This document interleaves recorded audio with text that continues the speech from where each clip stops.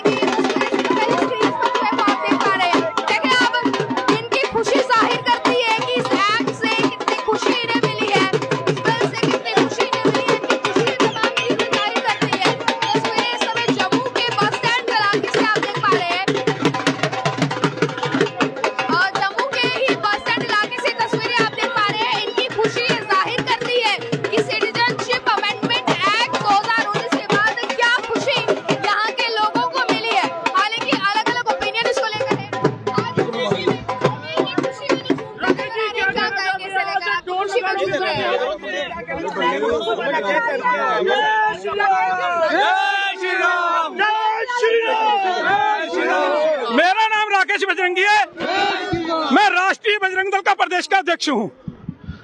आज हम केंद्र सरकार का धन्यवाद करने के लिए यहाँ पर आए हैं। जिस प्रकार से चार साल से सी ए नागरिकता संशोधन कानून होल्ड पर रखा गया था। जिस प्रकार से कुछ देशद्रोही लोगों ने गलत धारणा फैलाकर लोगों को भड़काने का काम किया और इस कानून को लागू नहीं होने दिया।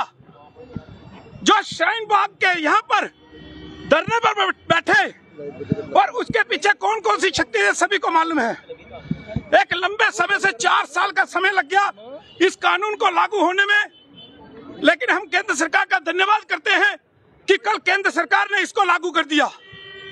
इसके अंदर पाकिस्तान, अफ़गानिस्तान और बांग्लादेश के अंदर जितने भी अल्पसंख्यक समाज के लोग प्रताड़ित होकर भारत आए, जिनके घरों को लूटा गया, जिनके साथ जादतियाँ हुई, जो व्यापारी वहाँ पर मारे गए, उनके परिवारों के लोग जो 31 दिसंबर 2014 से पहले भारत आए हैं, उन सभी को नागरिकता जो है, वो भारत सरकार यहाँ पे देगी।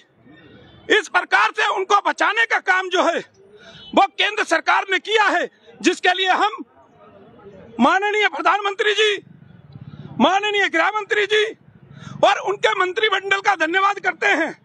जब जब सरकार अच्छा कार्य करेगी, हम सरकार के समर्थन में इसी प्रकार से खड़े रहेंगे। लेकिन अगर सरकार कहीं गलतियाँ करेगी तो सरकार का विरोध भी हम करते रहे हैं और करते रहेंगे।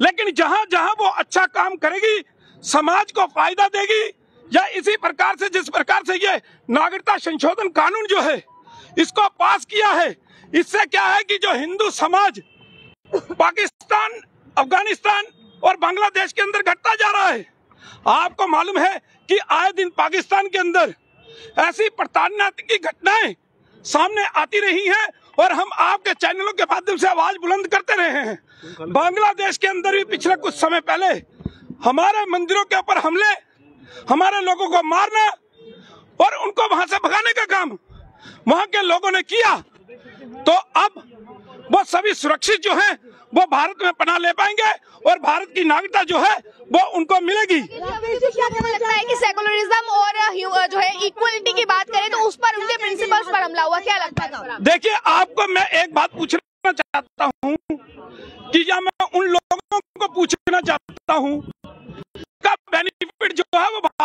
अंदर मिलेगा। और भारत के अंदर उनको नागरिकता दी जाएगी।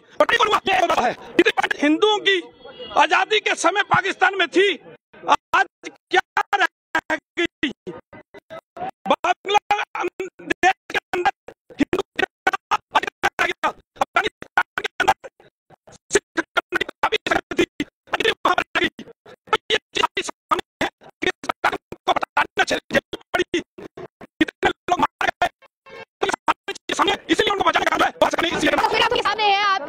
देखते हैं सिटीजनशिप अमेंडमेंट एक्ट को आप किस तरह से देखते हैं? क्योंकि फ़िलहाल कुछ लोग ये कह रहे हैं कि इक्वालिटी राइट्स की बात करें या फिर इस समय इक्वालिटी राइट्स की बात की जाए, उन पर, उनके प्रिंसिपल्स पर कहीं ना कहीं हमला हुआ है। कुछ लोग इसे इस तरह से भी देख रहे हैं, पर कुछ लोगों ने ढोल लगाड़े के साथ भी इस चीज़ का स्वागत किया है। तो तस्वीरें आपके सामने हैं, आप लोगों का इस पर क्या कहना है, क्या राय है आपकी इस पर?